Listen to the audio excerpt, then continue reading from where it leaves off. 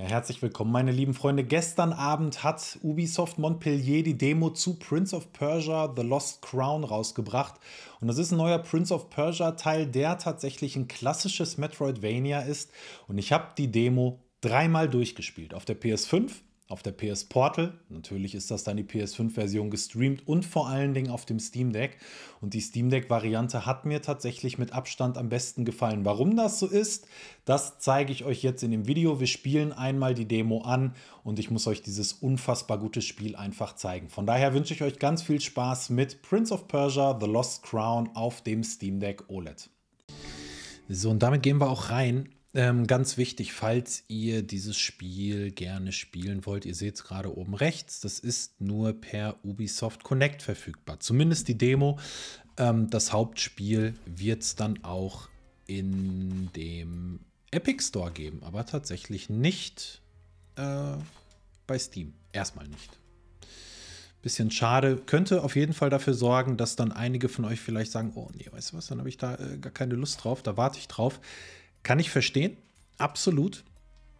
Ähm, aber dann verpasst ihr was, denn dieses Spiel ist unfassbar gut. Ich spiele es jetzt zum vierten Mal. Wir spielen einfach auf Krieger. Genau, hier steht auch, manche ähm, Sachen sind einfach zu. Da kommen wir nicht hin. Ähm, und das ist halt einfach so klar, weil es die Demo ist. Äh, wie gesagt, wir spielen auf dem OLED-Deck. Die alte Zitadelle. Und das schauen wir uns einfach mal an. Anahita brachte Prinz Hassan hinter diese Tore. Ich verstehe nicht. Warum Anahita so etwas tun würde? Sargon, du kennst sie am besten. Was sagst du dazu? Es ergibt keinen Sinn. Das sind wir, Sargon. Gewesen. Sie will die Macht für sich selbst ergreifen. Hm, was soll das heißen? Simurg mag verschwunden sein, aber der mächtige Gott lebte einst auf dem Berg Kaf und tut es vielleicht noch immer. Es war immer Simurg, der künftige Könige und Königinnen ernennt. Hm. Anahita möchte wahrscheinlich den Segen Simurgs erhalten. Aber warum Prinz Hassan entführen? Sie braucht ihn. Die Tore des Simurg-Tempels öffnen sich nur für die königliche Familie.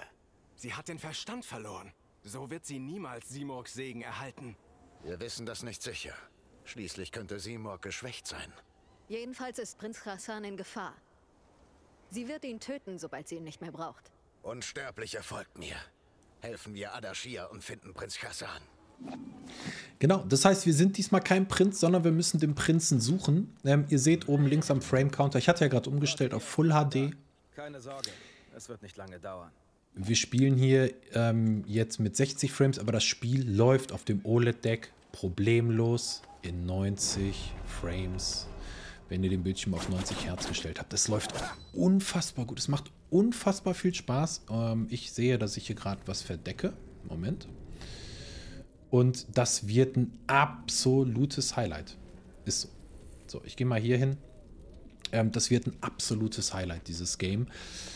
Von Ubisoft Montpellier, von denen ist beispielsweise auch Rayman Legends, das unfassbar gute ich kann es nur sagen, unfassbar gute Rayman Legends. Ja, die Typen haben es einfach drauf. Die Typen und Mädels. Ähm, 2,5D Plattformer Metroidvanias zu erstellen. Nein, aber ich habe davon gelesen. Hier befand sich einst der Palast von König Dario. Religion, Medizin, Astrologie, Geometrie, Algebra. Alles Wissen wurde hier gesammelt, für jedermann zugänglich. Kaf beherbergt eine große Zitadelle des Wissens den Stolz von ganz Persien. Und? Was ist passiert? Wer weiß, niemand hat überlebt. Und wie es aussieht, steckt Prinz Hassan jetzt mittendrin. Wir müssen auf alles gefasst sein. Ähm, genau, also, das Spiel, wie gesagt, mit 90 Frames. Das Interessante ist tatsächlich, das wurde zuerst für die Switch entwickelt und danach portiert auf die anderen äh, Systeme.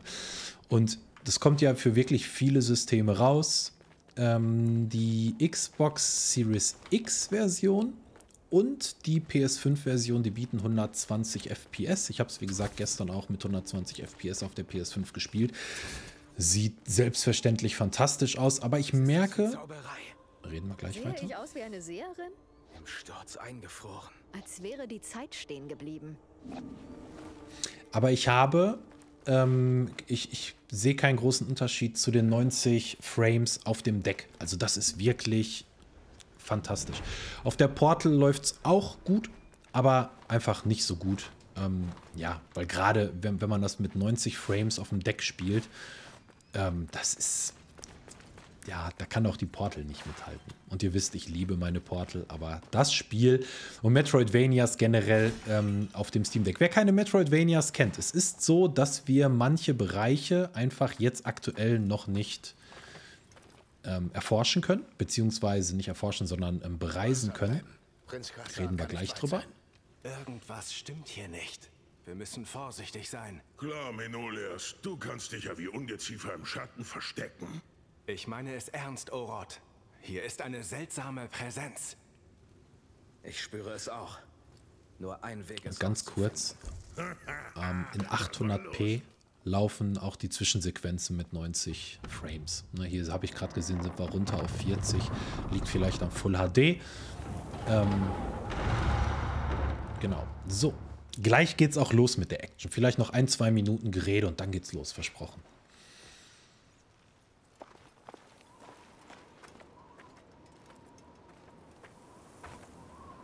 Ja, den geht's nicht mehr so gut.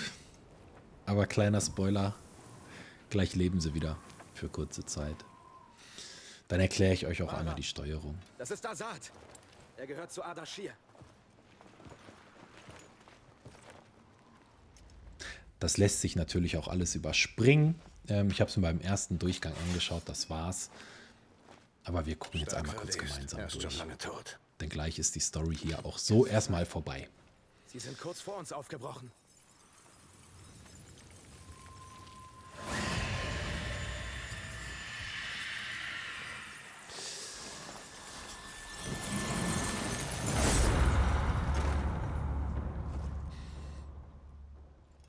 Wir sind nicht willkommen.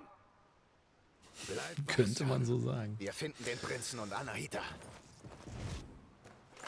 Genau, also Metroidvanias. Ähm, wie gesagt, wir können nicht alle. Ich gehe nicht mit. Du hältst mich nur auf. Genau. Such alleine. Wir können nicht alle Bereiche erkunden, weil wir beispielsweise höher springen müssen mit einem Double Jump oder was auch immer. Und deswegen lernen wir im Verlauf des Spiels neue Fähigkeiten, wodurch wir dann andere Bereiche der Map wieder ähm, bereisen können. Dadurch einfach die Map größer wird.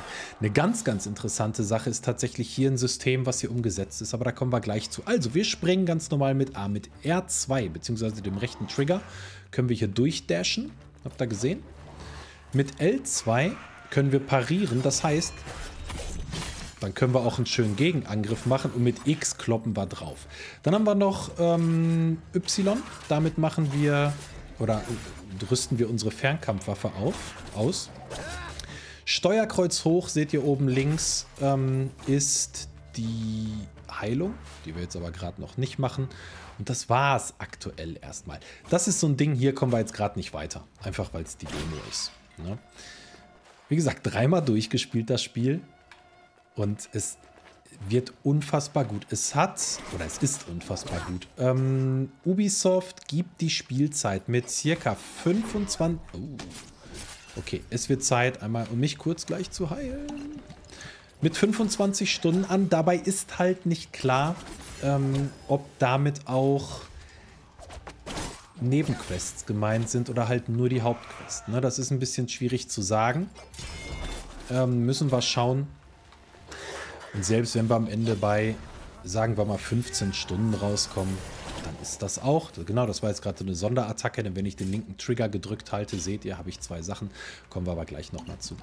Ähm, von daher, ob es wirklich 25 Stunden sind, müssen wir gucken. Die Reviews, die gestern, denn gestern ist das Embargo gefallen, sind extrem gut. Das habe ich nicht so gut erwartet. Dort wird geschrieben, dass dieses Spiel nur ganz, ganz knapp hinter den beiden eigentlich besten Metroidvanias liegt. Ähm, und zwar Hollow Knight und die Ori. Ähm, das lesen wir jetzt hier nicht durch. Ne? Das könnt ihr euch durchlesen, wenn ihr die Demo spielt. Das ist nichts Wildes. Ähm, genau, und die Ori Games. Ähm, hier also wirklich eigentlich auf Augenhöhe und ja, es sind eigentlich alle absolut begeistert von dem Game. Ja, äh, Trank würde ich gern, habe ich nicht mehr, ist aber nicht so schlimm. Genau, hier mit Land, äh, äh, sammeln wir immer das Atra. Und wenn ich jetzt den linken, also das zeige ich euch gleich, wenn wir am Baum sind. Mit dem rechten Stick ne, kann ich so ein bisschen noch die Kamera bewegen. Und hier ist wieder so ein Ding, hier würde man normalerweise weiterkommen, kommen wir jetzt aber nicht. Eine Karte gibt es auch, aber erst gleich. Erst gleich. Da können wir jetzt noch nicht drauf zugreifen. Das machen wir gleich. Wir kloppen uns hier durch. Und das ist auch nicht, wenn ihr jetzt denkt, oh, einfach Button-Mashing. Nein, auf keinen Fall. Also ihr müsst tatsächlich gucken, wann macht ihr so einen Dash, ne? weil damit könnt ihr halt auch einfach ausweichen. Ähm, wann pariert ihr, denn... Das kann ich nicht parieren, okay. Denn beim Parieren, wenn ihr genau perfekt pariert, macht ihr halt, das habt ihr vorhin einmal kurz gesehen, so eine unfassbar starke Gegenattacke. Ähm, und von daher ist das schon sehr gut. Genau, ich habe gesagt, das Spiel wurde als erstes für die Switch entwickelt und dann ähm, tatsächlich für die anderen Geräte portiert. Das heißt, es läuft einfach überall unfassbar gut. So, hier war ich gerade schon. Auf der Switch habe ich die Demo noch nicht gespielt. Werde ich aber auf jeden Fall auch noch nachholen.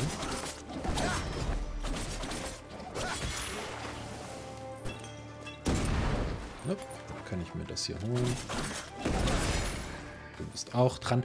Und es gibt auch tatsächlich, ähm, das sehen wir gleich auch, ähnlich zu Hollow Knight, ähm, so eine Art Talisman-System.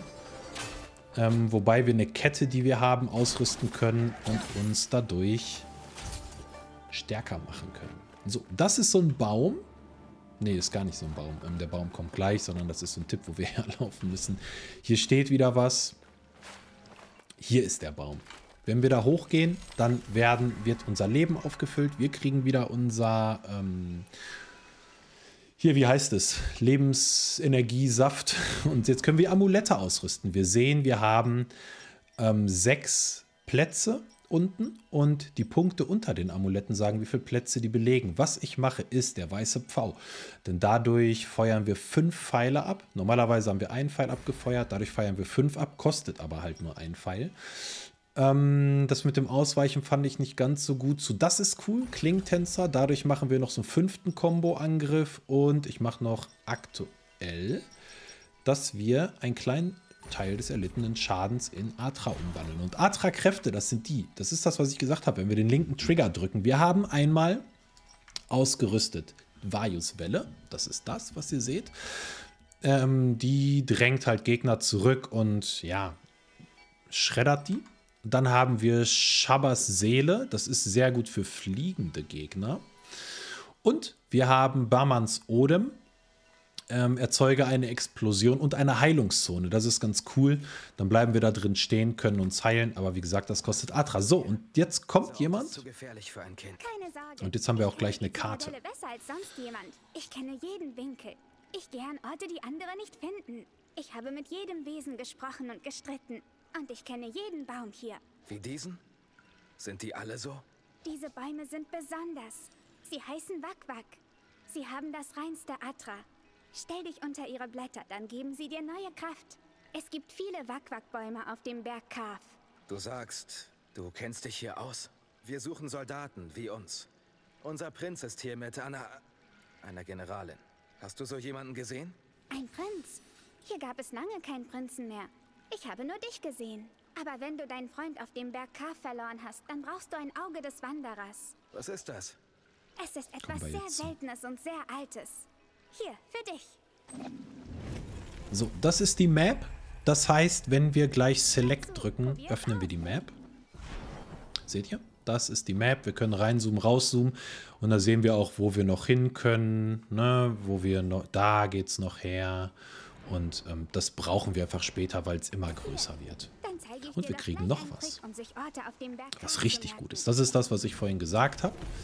Und zwar, wir können jetzt Erinnerungsfragmente erstellen. Das heißt, das erkläre ich euch so, da oben an die ähm, Dinge, an die Truhe kommen wir noch nicht dran. Ist zu hoch. Müssen wir irgendwie einen Double Jump machen. Jetzt ist es so, normalerweise in anderen Spielen wie Hollow Knight können wir einfach eine Markierung setzen auf der Karte und wir wissen nicht mehr, hm, was war das eigentlich. Hier drücke ich kurz nach unten und er macht eine Art Foto. Das heißt, wenn ich jetzt gleich meine Map öffne. Oh, das klingt sehr... Also dann, Sargon. Genau, wir treffen uns, okay, alles klar, wir sehen uns, Zeitkristalle, reden wir später drüber.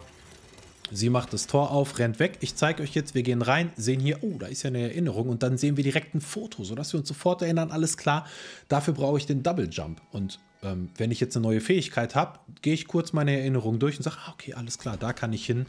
Ähm, richtig, richtig, richtig, richtig genial. So, wir laufen weiter. Also das Spiel, ähm, das, oh, ähm, das Spiel macht halt, na komm schon.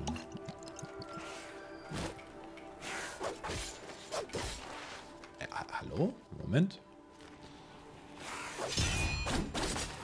Genau, hier habt ihr gesehen, der hat ein Schild. Das heißt, ich muss halt, ähm, ich muss parieren, damit ich seine ähm, Verteidigung brechen kann. Genau, wichtig ist, dass, ähm, was, oh, mit dem Quatschen dabei ist das nicht so gut. Was wollte ich gerade erzählen? Da sehen wir übrigens die fünf Pfeile. So, jetzt habe ich vergessen, was ich erzählen wollte. Ist aber nicht so schlimm. Hier kommen jetzt ein paar Stacheln raus. Ist aber kein Problem, weil wir ja schnell abhauen.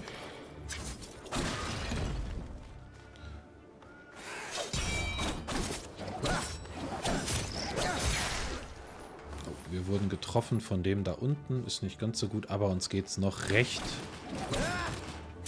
gut. Genau, es gibt auch... Oh, ich muss echt aufpassen. Ihr seht, das sind diese normalerweise gelben ähm, Angriffe. Die könnt ihr parieren. Ne? Das ist gar kein Problem. Es gibt aber auch rote Angriffe. Und bei denen habt ihr keine Chance. Die könnt ihr nicht parieren. Da müsst ihr echt ausweichen. Ansonsten habt ihr ein Problem. Jetzt fragt ihr euch, hm, warum ist denn das Bild, äh, der, der Bildschirm hier gerade so komisch?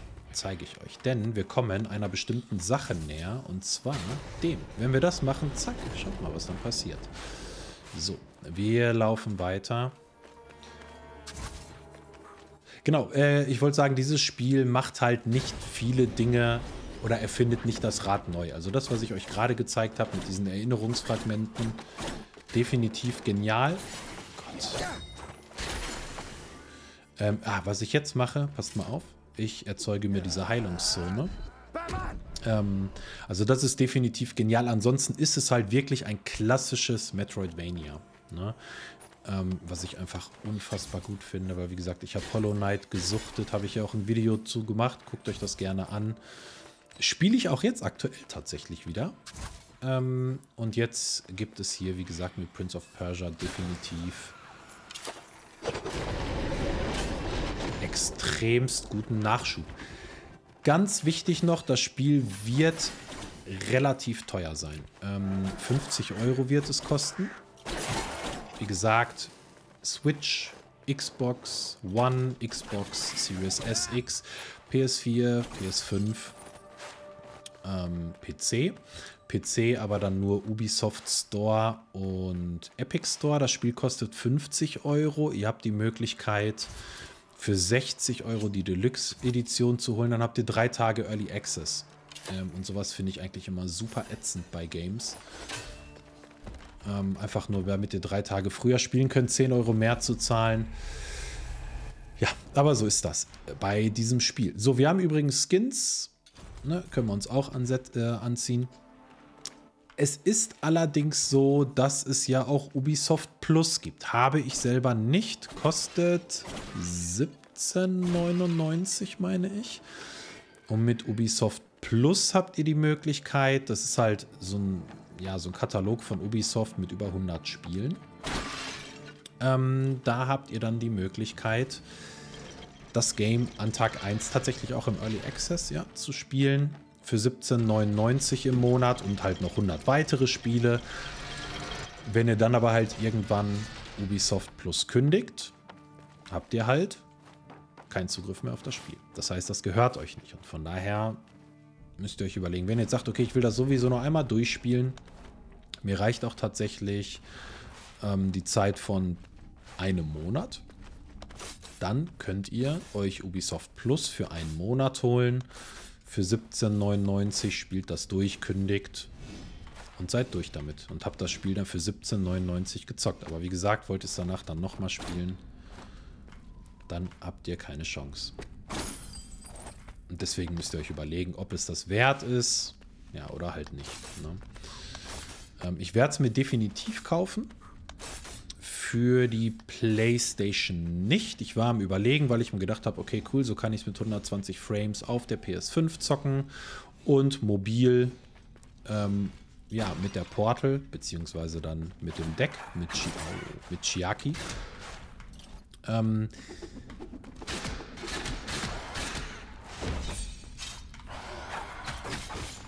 oh, was will er von mir?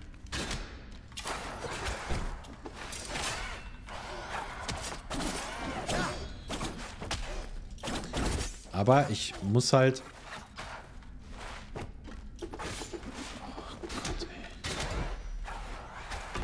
Pfeile mehr. Ich muss aber halt sagen, weil es mir einfach mit den 90 Frames so extremst gut gefällt und das würde ich halt auch nicht hinbekommen, ähm, wenn ich streame.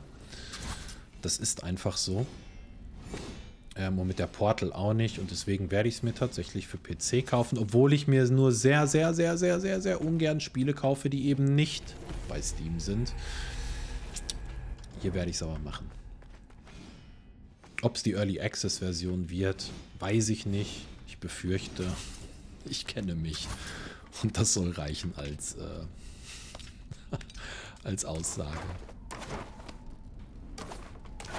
So, das wird gleich noch ein bisschen schwieriger hier. Aber die Demo geht auch nicht mehr lange. Ne? Aber, oh, wieso macht er das nicht? Wir gucken es uns trotzdem gerne noch weiter an. Die Zeit ist ja noch okay, die wir hier haben. Hm. Ich hätte gerne ein bisschen Heilung. Wo ist denn ein kleiner Wackelbaum? Ich muss auch sagen, ich habe die ganzen alten Prince of Persia Titel, also Sands of Time und wie sie alle heißen, ähm, gar nicht gespielt. Ich weiß noch, damals auf dem Amiga war das? Meine Kameraden und ich verfolgen eine, eine Verräterin. Dann sind du und die anderen ebenfalls gefangen.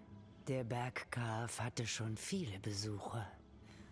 Viele davon hat der Fluch der Zeit ereilt. Sieh dich vor, Krieger.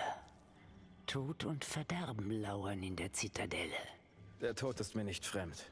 Selbst die entschlossensten Krieger mussten sich wappnen.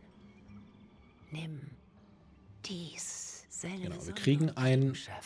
Bedenke aber, dass sie kostbar sind. Ja, nur am Wackbackbaum, denn ähm, wir gehen mal weiter. Wir kriegen nämlich ein neues Amulett wodurch wir zusätzliche Gesundheit bekommen. Gucken wir uns gleich einmal ganz kurz an, die wir allerdings nur am Wack-Wack-Baum auffüllen können. Normalerweise seht ihr, haben wir vier äh, Balken.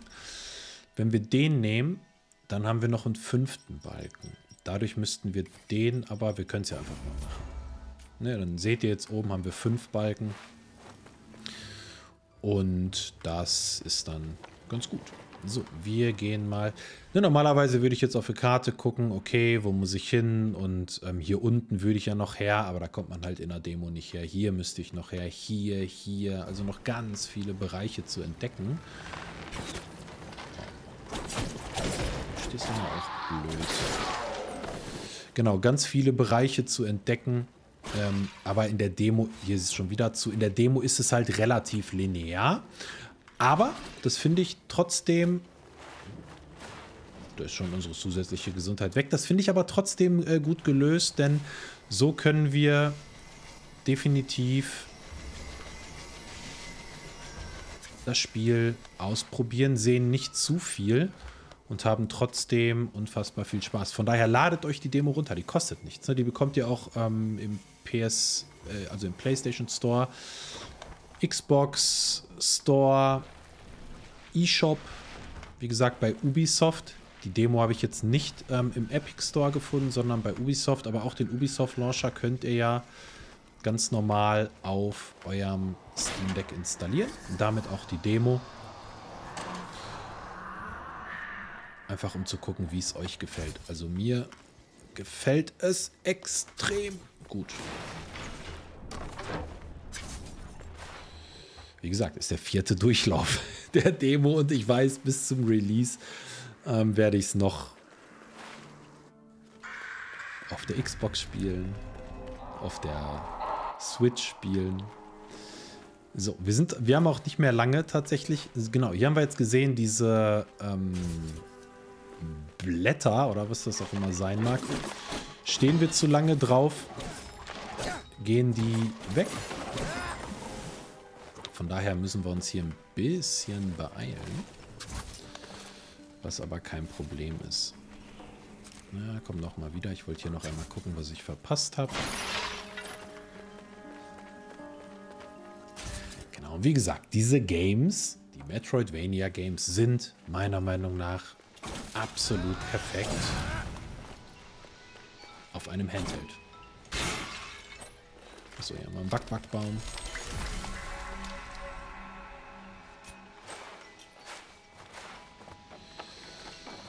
Gehen hier runter, runter. Du schon.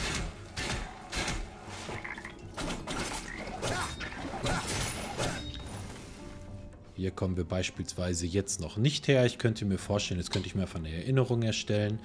Ich könnte mir vorstellen, dass es vielleicht später eine Fähigkeit gibt oder dass irgendwas passiert, wodurch diese Stacheln ähm, verschwinden. Na, hier ist gar nichts drin. Genau, da war ich gestern schon und dachte mir, okay. So, wenn wir da oben auf das Ding schießen, habt ihr gerade gesehen, dann kommt halt erst die, ähm, dieses Blatt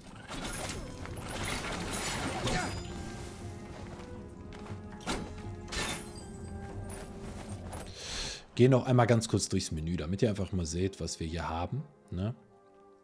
Ähm, wenn wir vier Blütenblätter haben, wird unsere maximale Gesundheit erhöht. Das ist der Bogen, also unsere Waffen, die wir haben. Ähm, das ist die Eile, also halt, dass wir dashen können. Ähm, das sind die Amulette, über die wir schon gesprochen haben, die Kräfte, über die wir gesprochen haben und dann einfach System. Da gibt es auch Barrierefreiheit, Zielhilfen, Nahkampfhilfen. Könnt ihr euch alles auch vom Schwierigkeitsgrad her so einstellen, wie ihr das gerne haben möchtet.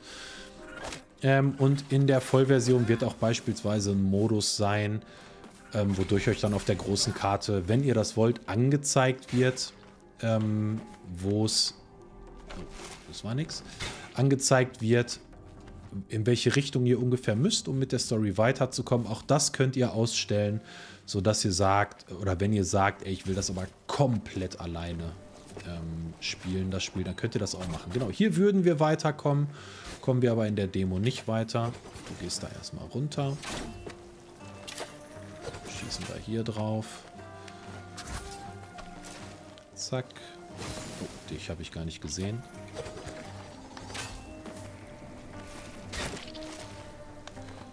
Hier hoch.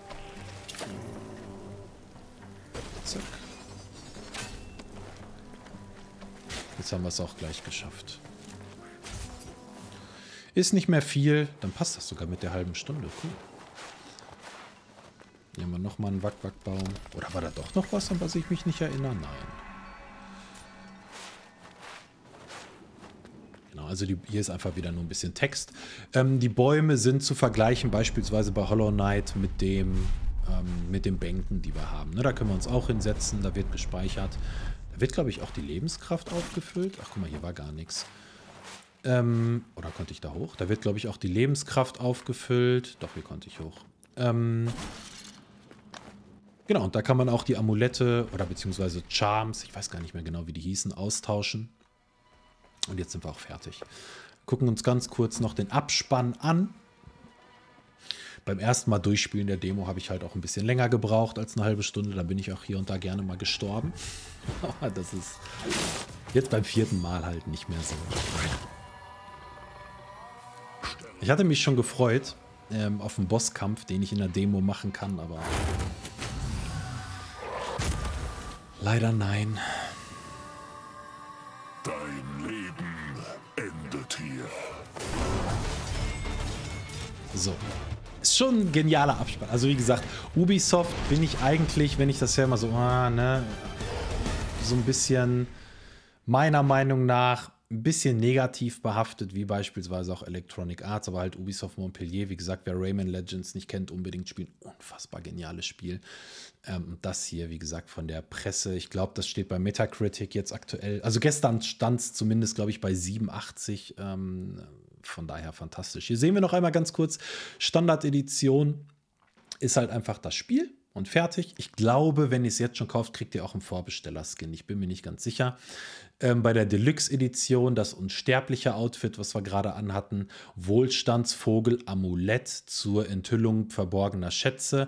Das heißt, wenn ihr das ausrüstet, dann gibt es irgendwie so einen Vogel, der chiept, wenn ihr irgendwo in der Nähe, so cheep, cheep, wenn ihr in der Nähe von irgendwas Wichtigem seid. Ähm, und Faribas Notizbuch, so ein digitales Abenteuerhandbuch.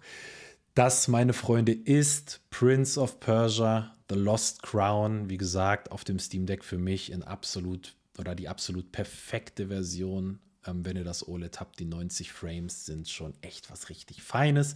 Ihr wisst das, ihr lasst mir auf jeden Fall einen Kommentar da, ähm, was ihr von dem Spiel haltet. Und was ich schon ganz lange nicht mehr gemacht habe, ähm, ich habe euch ja immer gesagt, bei, der, bei den Leuten, die eine Kanalmitgliedschaft bei mir haben, vielen, vielen Dank dafür. Ähm, und die mit der, die Lieblingsfans Deluxe, ähm, dem möchte ich natürlich auch gern namentlich danken. Von daher, Fairphone-User, danke für diesen ultralangen Support, den du mir schon die ganze Zeit bietest. Und auch danke an Ronja. Ihr seid, so wie alle anderen Zuschauer meines Kanals, einfach die Besten. Ansonsten würde ich sagen, ich bin raus. Wir sehen uns bis zum nächsten Mal. Macht's gut und ladet euch die Demo runter. Ciao.